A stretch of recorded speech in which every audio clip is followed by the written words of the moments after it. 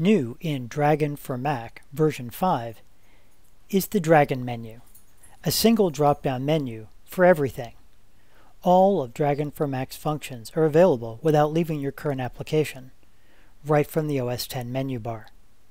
You can control the microphone, transcribe a recorded audio file, add custom vocabulary and commands, switch profiles and audio sources, access tools to improve your recognition, set Dragon for Mac's preferences, and get help, including our interactive tutorial, all right from the menu bar. The Dragon for Mac status window has everything in one place and can be customized to the way that you work. At the top, the control area allows you to turn the microphone on or off, change modes, start a transcription, and customize the behavior of the status window.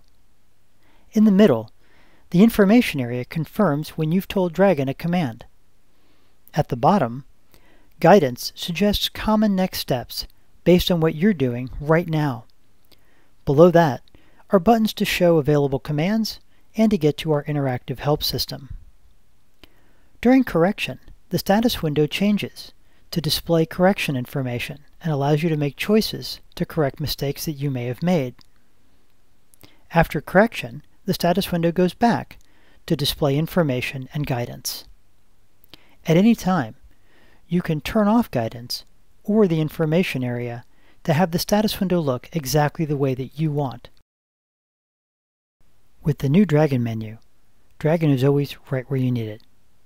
And with the new status window, Dragon gives you guidance and information and can be customized to the way that you work.